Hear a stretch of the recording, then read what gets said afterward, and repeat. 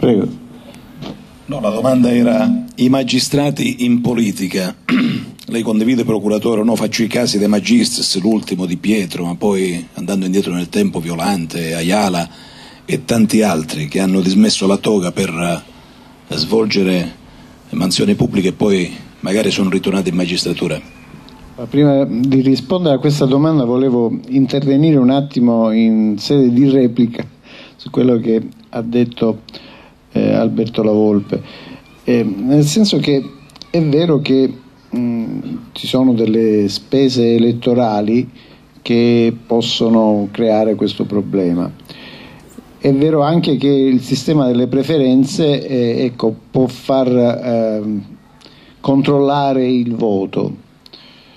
Eh, però nel corso di un'indagine a me è successo qualcosa che mi ha aperto un po' eh, gli occhi su questo modo di, eh, de, soprattutto della mafia di controllare i voti. Perché è venuto fuori adesso non tanto il fatto che la mafia oggi ha bisogno anche di comprare i voti il che per me è, almeno in Sicilia è successo recentemente nel corso di un'indagine.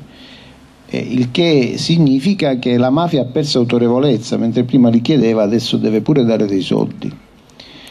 e nel contempo, viste le somme che vengono richieste per un voto, 50 euro,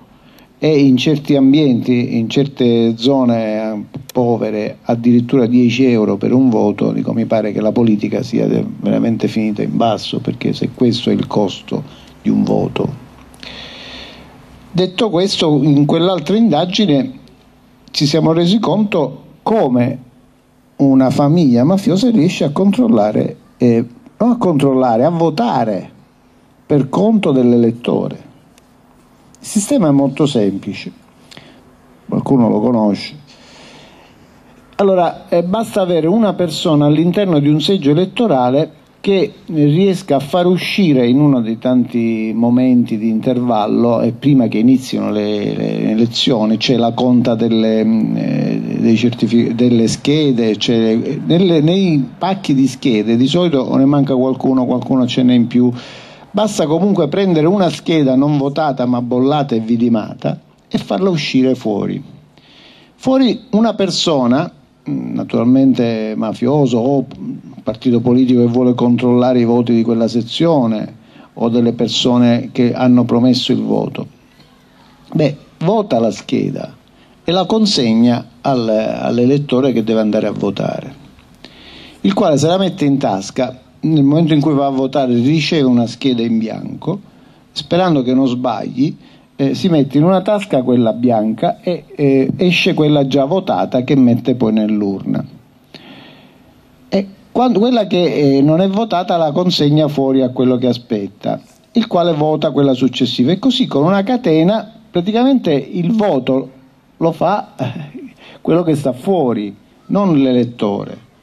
Quindi parlare di preferenze di controllo di voti quando si arriva a questi sistemi, naturalmente con la connivenza di qualcuno che non, che non fa bene il suo lavoro all'interno dei seggi, beh, è, è, chiaro che qualsiasi sistema poi ha, il problema è l'uomo, eh, chi esercita certe funzioni. Per quanto riguarda la domanda che mi è stata fatta, i magistrati in politica, beh io non lo so, io sono, sarei un po' restio a, personalmente ad andare in politica perché io dico che uno deve fare quello che sa fare, mm, cioè fare la politica eh, tranne che non diventare improvvisatori, però eh, dico una cosa che la difficoltà non è tanto per un magistrato fare politica, perché è giusto secondo me che come tutti i cittadini abbia questa possibilità, perché creare una, una, selezione tale che il magistrato deve essere uno che non può fare politica mentre tutti gli altri lo possono fare. Però eh, ha una condizione, che se sceglie di fare politica deve accettare il rischio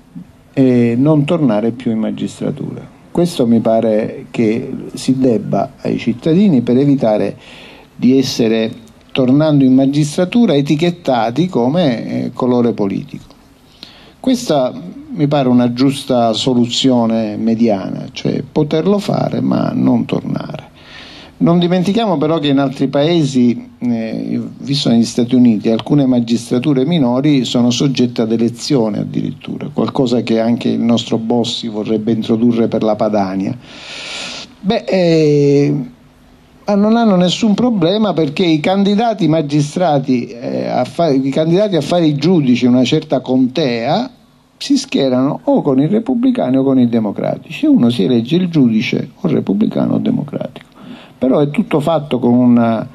con eh, la piena eh, consapevolezza che anche se un giudice è repubblicano, eh, non è che per questo darà ragione sempre e solo ai repubblicani, cioè c'è un'etica poi e un controllo che eh, va al di là di quelle che sono le appartenenze politiche, ma è un altro sistema, è un'altra cultura, è altro.